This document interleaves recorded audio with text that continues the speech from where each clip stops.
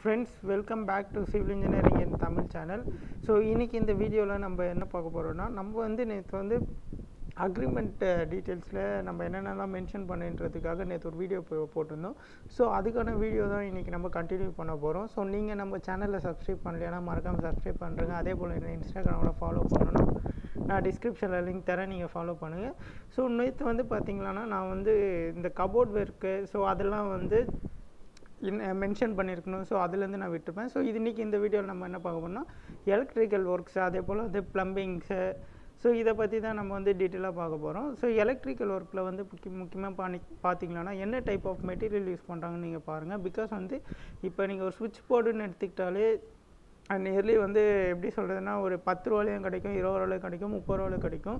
So இதில் வந்து அவங்க என்ன டைப் ஆஃப் மெட்டீரியல் யூஸ் பண்ணுறாங்க என்ன காஸ்ட்டில் யூஸ் பண்ணுறாங்க ஸோ இதெல்லாம் என்ன பிராண்ட் யூஸ் பண்ணுறாங்க ஸோ இதெல்லாம் வந்து உங்களுக்கு வந்து கிளியராக மென்ஷன் பண்ணிகிட்டு இருந்தால் உங்களுக்கு வந்து என்ன ஆகும்னா அக்ரிமெண்ட்டில் மென்ஷன் பண்ணும்போது உங்களுக்கு வந்து கொஞ்சம் ஈஸியாக இருக்கும். ஏன்னா வந்து நிறைய பேர் லோ குவாலிட்டி மெட்டீரியல்ஸ்லாம் யூஸ் பண்ணாங்களான்னா என்ன ஆகுனா அது வந்து ரொம்ப நாள் தாங்காது. ஸோ அவ்வளோதான் டிஃப்ரென்ஸு நெக்ஸ்ட் வந்து பார்த்தீங்களான்னா இப்போ ப்ளம்பிங் ஒர்க் ஸோ ப்ளம்பிங் ஒர்க்ஸும் அதே போல் தான் இப்போ வந்து ஸோ இப்போ பார்த்தீங்களான்னா ப்ளம்பிங் ஒர்க்ஸில் பார்த்தீங்களான்னா இப்போ வந்து உங்களுக்கே தெரியும் நிறைய பிராண்ட் இருக்குது ஃபினோலெக்ஸ் ஆர்ஷித்வாத் ஸோ அது மாதிரி நிறைய ப்ரா பிராண்ட்லாம் இருக்குது ஸோ இதில் வந்து இது இந்த ஃபினோடெக்ஸ் பிராண்ட் ஆசீர்வாத் பிராண்ட்லாம் நல்லாயிருக்கும் இப் இதுவே ரொம்ப லோ குவாலிட்டியில் என்ன பிராண்டுன்னு கூட தெரியாது.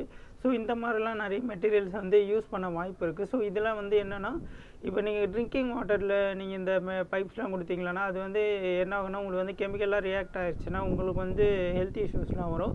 ஸோ அதுக்காக தான் நான் இதை சொல்கிறேன் நெக்ஸ்ட் வந்து என்னென்னா இப்போ வந்து எலக்ட்ரிக்கலில் வந்து என்ன ஒயரிங் பண்ணுறாங்க பிகாஸ் ஒயரிங்லேயே நிறைய இருக்குது ஸோ இந்த அதுலேயும் சில ப்ராண்ட்லாம் இருக்குது நல்ல ப்ராண்டு ஸோ அதெல்லாம் நீங்கள் என்ன பண்ணணுன்னா நீங்கள் வந்து பார்த்து மென்ஷன் பண்ணி டீட்டெயில்ஸ்லாம் உங்களுக்கு வந்து நீங்கள் மென்ஷன் பண்ணியிருந்தீங்கன்னா உங்களுக்கு வந்து ஃப்யூச்சரில் நீங்கள் அவங்க வந்து மாற்றி யூஸ் பண்ணாலும் நீங்கள் வந்து கேட்க முடியும். ஸோ அதுக்காக தான் நான் வந்து முக்கியமாக வந்து இந்த வீடியோஸ்லாம் நான் உங்களுக்கு வந்து அப்லோட் பண்ணிகிட்ருக்கேன் ஸோ இன்கேஸ் நீங்கள் பெயிண்டிங் பொறுத்தவரை கூட அதே போல் தான். பிகாஸ் வந்து பெயிண்டிங்கில் நிறைய இருக்குது டிராக்டர் எமல்ஷன் இருக்குது ராயல் எமல்ஷன் இருக்குது நெக்ஸ்ட் வந்து அதுலேயே எப்படின்னா நார்மல் பெ ப்ரீமியர் பெயிண்டிங்கு ஸோ அதெல்லாம் இருக்குது அதே போல் வந்து என்னென்னா பட்டி பார்க்குறது ஸோ இதெல்லாம் வந்து நிறைய காம்ப்ளிகேஷன் உங்களுக்கு வந்து உண்டாக்க நிறைய வாய்ப்பு இருக்குது ஸோ அதெல்லாம் நீங்கள் வந்து தெளிவாக ஹேண்டில் பண்ணிங்களான்னா உங்களோட எப்படின்னா இந்த பெயிண்டிங் ஒர்க்ஸ்லாம் வந்து நல்லாயிருக்கும். அதே போல் வந்து நீங்கள் வந்து இப்போ இப்போ ஏன்ஷியன் பெயிண்ட் எடுத்துட்டிங்களான்னா அதில் ஹை கிரேடுன்னு பொறுத்தளவு என்னென்னா ராயல்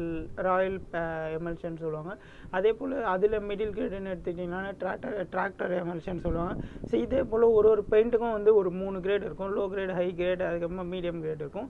ஸோ அதில் வந்து என்ன டைப் ஆஃப் கிரேட் யூஸ் பண்ணுறாங்கன்னு நீங்கள் தெரிஞ்சுக்கிறது நல்லது. நெக்ஸ்ட் வந்து என்னென்னா இன்டீரியர் இப்போ இன்டீரியர் பெயிண்டிங்னா உங்களுக்கு வந்து கம்மியாக இருக்கும். பிகாஸ் வந்து இன்டி இன்டீரியர் பெயிண்டிங் ஒரு ஸ்கொயர் ஃபீட்டுக்கு ஒரு ஐம்பது ரூபான்னு சார்ஜ் பண்ணுறாங்கன்னா எக்ஸ்டீரியர் அதோட ஒரு ஃபிஃப்டீன் ருபீஸ் அதிகமாக சார்ஜ் பண்ணுவாங்க. ஏன்னா வந்து எக்ஸ்டீரியர் பெயிண்ட் வந்து ஸோ நிறைய எப்படி சொல்கிறேன் வெதர் ரெசிஸ்ட வெதர் ரெசிஸ்டண்ட்டாக இருக்கணும். அதே போல் வந்து கிராக்கை வாட்டர் ப்ரூஃபாக இருக்கணும். ஸோ இது இதுக்காக தான் நிறைய பேர் வந்து அதிகமாக வந்து சார்ஜ் பண்ணுவாங்க. ஸோ இதெல்லாம் நீங்கள் வந்து முக்கியமாக வந்து உங்களோட பார்வைக்கு எடுத்துகிட்டு வந்து அதுக்கப்புறமா நீங்கள் வந்து இதெல்லாம் நீங்கள் முன்னாடியே சொல்லிடுறது நல்லது ஸோ அதுக்காக தான் முக்கியமாக இதெல்லாம் நான் உங்களுக்கு வந்து டீ டீட்டெயில்ஸ்லாம் உங்களுக்கு வந்து எக்ஸ்பிளைன் பண்ணிடுறேன். அதே போல் வந்து முக்கியமாக என்ன நோட்னா இப்போ வந்து நீங்கள் ஒரு thousand four hundred square feet இல்லைனா ஒரு எயிட் ஹண்ட்ரட் ஸ்கொயர் ஃபீட்டுக்கு நீங்கள் கன்ஸ்ட்ரக்ட் பண்ணுறீங்கன்னா நீங்கள் கான்ட்ராக்ட் வந்து ஒரு தௌசண்ட் எயிட் ஹண்ட்ரட் ருபீஸ்க்கு ஒரு ஸ்கொயர் ஃபீட்டுன்னு விடுறீங்களான்னா என்ன ஆகணும்?